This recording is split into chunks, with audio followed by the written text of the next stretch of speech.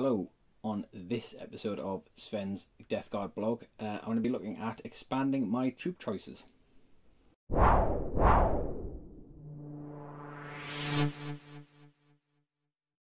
Hello, it's Sven here, and if you've been following along with my Death Guard blog, you know that I've been building up my Death Guard army, and you've seen that I've got some troops already sorted out in the form of my Death Guard Plague Marines. Um, really like the Plague Marines. I've played a few games with them um, already. You know, great troops to put down, um, just in terms of the toughness and resilience. However, uh, the size games that we're playing at the moment, where we're playing um, 25 to 30 point power games, 25 to 30 power games, um, it's quite limiting on the size of the force I can take because five Plague Marines is 6 power, full squad of 10, 12 power. Um, and obviously, by the time you've paid for a load and something else to go along with them, your, your, your power's gone. So I want some alternatives uh, for troop choices that I can use in different scenarios. So, for example, um, where I want to have some bigger units that can move off and capture objectives, um, rather than having one big powerful unit, have a couple of smaller units that can maybe go into there. So, I've decided my next troop choice is going to be Poxwalkers. So, why Poxwalkers next? I was going to do my cultists, I'll be honest. However, looking at the models I've got for the cultists, um, I need to do some um, kit bashing and, and some parts finding to be able to build out some of the weapons that I don't have for the cultists. So to give them heavy stubbers and flamers. So putting them aside for the moment while I source those parts and do those conversions. I thought I'd do the Poxwalkers next. Poxwalkers are very similar in terms of power rating. So um, 10 Poxwalkers is 2 power. 20 Poxwalkers, which is the maximum unit size, is 4 power. And they've got some nice benefits so that, you know, they can, depending on who you're going against, if you can get into close combat, they can respawn their number um, when they destroy models. So it's a nice unit to just try and get in and um, hold objectives because again, you've got that chance of, of boosting the numbers up again. And I say, for the sake of where I would pay six power for five plague marines, six power could technically get me thirty poxwalkers on the table. Um, so in terms of poxwalkers, let's see what I've got to go with. When I initially was bringing together all of the Death Guard stuff I had. I think I had a few frames of Poxwalkers. Um, I've since added on to that with a couple of extra frames that I got from some back issues of uh, Warhammer Conquest. So there was a um, Hachette Publishing, where Hachette Partworks were doing a Black Friday back issue sale, and I bought some back issue copies to get the the Poxwalker sprues, and I've also picked up a couple of boxes of the um, I don't know if these are the easy to build ones, but the, the box of Death Guard Poxwalkers, which are a different set of minis to the ones that are on the frame that was with, I think that came from First Strike. Um, so, and the ones that came with Conquest. So I've got a few different types of Poxwalkers there. So in total, with the models I've got here, um, I could build 44 Poxwalkers. However, Poxwalkers are in units of 10 to 20 um, so I'll probably just discard four of them or keep them in case I ever buy some more to make a third squad, a third unit of them. And I'll go for either two units of 20 or that and break down if I want in bigger games. Um, you know, if I really wanted to go swarm of four units of 10. So the only thing with the Poxwalkers, which is going to get me, is a sec- uh, effectively, I've got four lots of the same 12 guys as much as I'm not that bothered about it, I would like to put a little bit of variation in. So what I'm going to do with these guys is I'm going to do some very simple weapon swaps. So where they've got you know a, a club, a spike club or something like that, I'm going to dig through my bits box. I've got some old Warhammer Fantasy Battle uh, weapons, sprues and things like that from various different armies like Skaven armies and Chaos and Orc armies that would fit nice as crude um, hand weapons for the poxwalkers. So I'm going to do some some swaps with those, maybe do a few little bits just to make some of them look a little bit different add a few accessories on here and there from some of the from my, my bits box of Space Marine, Imperial Guard, Death Guard, Chaos, um, bits and bobs, just to give some variation. And then what I can do is I can, I can put them into two squads, and I don't mind if there's a bit of repeating in each across the squads, but in the squads I'll try and have some variations. So the next step will be uh, for me to go and do these, get these built, do the conversions, and then I'll put some paint on them, and I'll come back once I've got these painted, and I'll go through the paint process with you. One eternity later. After that brief interlude, I'm back, and my poxwalkers are now all built and all painted. So hopefully on the screen now you should be seeing some nice pictures flashing up with them. In terms of painting these, it's all contrast paints pretty much. Um, there's a couple of bits where I've, I've you know dived into some of my acrylics, um, but mainly it's all contrast just for the speed and also some of the tones I get on the flesh. So what I've done is I've mixed up the flesh tones. I've used mixtures of Guilliman flesh, Darkoath flesh, as well as some things like uh, Nazdreg yellow. Um, I think there's a few Volupus pink or Shyish pink, one of those ones. So as I said previously when I was building these, because I've got a lot of the same models repeating, and what I didn't want to do is, you know, have essentially a tedious monotony of the same models in the units. I kind of split them into two units. Um, look, it had the, the luxury of having some extra models. I had like 48 and I only really needed 40.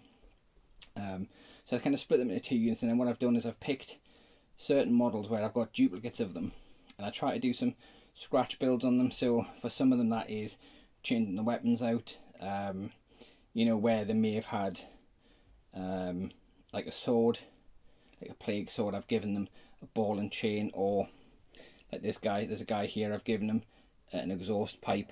Um, I think which is off an orc bike. Um, some of them I've given spike clubs. I've also tried to put some themes in across the poxwalkers. So just looking at the way that they were they were dressed essentially. Quite a few of them look like they're wearing military, so eh, you know, um, Imperial Guard uniforms. Um, so I've gone with that. So there's a few of them where I've kind of given them a guard helmet, which I've, I've made sure I've kind of scrubbed off half of the Aquila, uh, and I've used some um, chaos brass etch symbols that I got from Green Stuff Green Stuff World to add either like a Nurgle symbol or a little Chaos Undivided star. And like this guy here, I've given him a shoulder pad, so a shoulder pad which came off, I think it was the Commander sprue from a Baneblade, a plastic Baneblade kit. Uh, one of those tank commanders. I've given him a shoulder pad, a helmet with a, a, a Chaos sigil, and I've also given him in his hand um, a rifle as if he's using it as a club. So what I've really liked about building these is the the variety that I get from just doing tiny little changes. And I say I used all sorts of different kits that I had. So to say, I read in my bits box. I found interesting things that I thought, if if someone was wanting an improvised weapon uh, on the battlefield, you know, what could they pick up? So that's why there's, you know, rifles. Uh, there's exhaust pipes. There's a guy where I've given him an axe that I've made out of uh, a Mark Six Space Marine helmet with an axe head poking out of the side of it, you know, which was attached to the the, the weapon haft he was already holding. Uh, there's so, someone's got a, a, Space Marine power glove on a stick. Um, you know, little things like that that I could do, and of course I've tried to, wherever possible, kind of put in uh, little notes to my opponents. So, for example, the Mark Six Space Marine helmet being used as an axe head. Um, is painted up like a Blood Angel helmet. The Space Marine glove on a stick is painted up like a Space Wolf glove. So that, you know, when I'm playing against Space Wolves or when I'm playing against Blood Angels, which are two of the armies that I face, um, you've kind of got that little nod to them that maybe there's been a previous battle and one of them's scavengers from the battlefield. So I mentioned obviously the um, like the Imperial Guard, the military theme that I put. The other theme that I picked out was a lot of them look like they're wearing overalls. Um, so I tried to go with kind of some high vis feel to try and make these look like some kind of factory workers. And again, it also blends in a little bit with some of the kind of Genestealer cult uniforms uh, that Lee's got in his army. You know, so I've gone for like bright orange, like high vis overalls. Um, to give that look that because of the way that obviously the poxwalkers are generated, you know, these are these are corpses reanimated from wherever the battle's been. Um, you know, it gives my Death Guard the feel that they've invaded the city, they've wiped out a, a Manufactorum, and then the Guard have come in, they've wiped out some Guard, and they've raised the dead from that battle to become the Poxwalkers. So I've used the, the Poxwalkers in a couple of games now, um, and I have to say I really like them. So obviously I went with, I've built 40, which gives me the option to have um, really two units of 20. I could split them down to four units of 10, um, which would probably be the best in terms of the most for your power. So the power rating for these is up to 10 models is 2 power, 11 to 20 models is 5 power. Um, so you'd think, well, I'll have 4 units of 10, get that extra 2 power back to spend on something else. However, the way I look at it is units of 20 with these, the bigger the unit, the, easier it is to keep them alive because there's a couple of key rules. So, I mean, the main thing with the Poxwalkers is they have no missile weapons. So they're purely hand-to-hand combat. And they're, they're, they're a bit rubbish. You know, uh, the weapon skills 4 plus, strength of 4, strength of 3, sorry.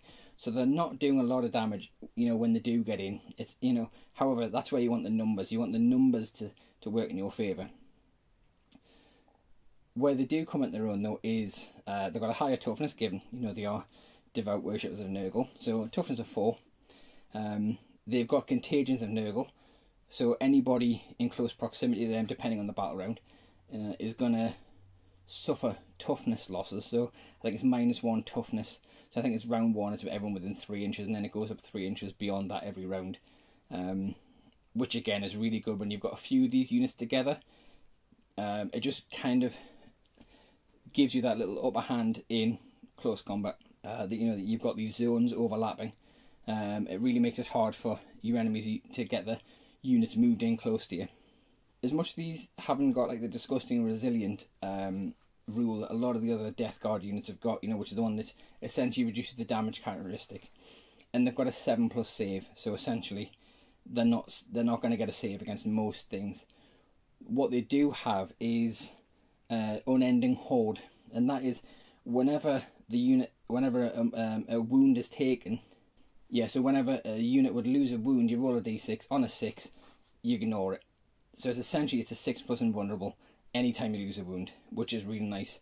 Um, they also have the uh, the curse of the walk, walking pox. So what that is is any time this unit inflicts a casualty in uh, close combat, if you've lost any models from that unit, you can replace one of your pox walkers back to the table with one wound remaining. So which means if you can get them in close, and again that's where the weight of numbers comes in handy because the you know the, the amount of attacks you throw at something, you, you might get something through. You're going to lose the toughness slightly with the contagions of Nurgle, and then you've got the chance to add your, your numbers back in. The other thing where Poxwalkers are really good is they're a mindless horde, so they automatically pass any morale checks again. So you can just kind of just keep moving them across the table. Where they do lack a lot is speed.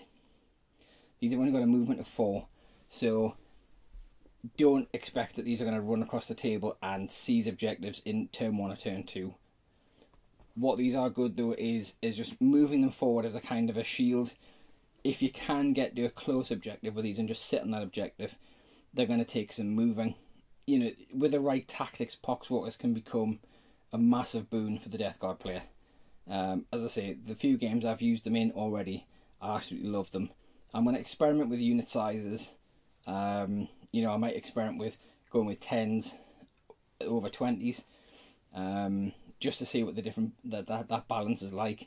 Uh, is it worth splitting two 10s or having one big 20, depending on the game size? As I say though, I absolutely love the unit, absolutely love what they do, and I'm looking forward to uh, getting more games in with these guys, especially because when they're on the table, they look really nice. The only thing I've got left to do with them is to obviously put them on their fancy uh, Micro Art Studio bases.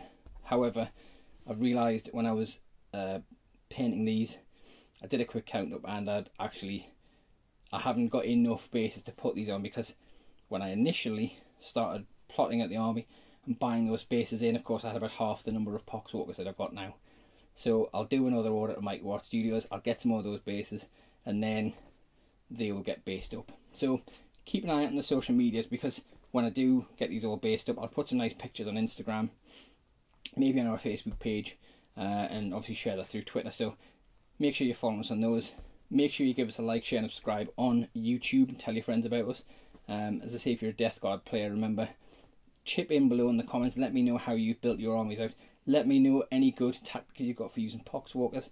You know what is the the best way to deploy them.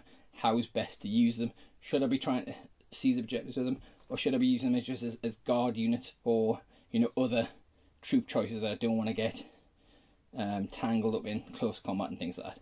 So say in the comments below, give me your best hints and tips for using poxwalkers. And we'll be back soon with more of this blog series as I get deeper into my Death Guard army. So until then, we will see you very soon. Drop.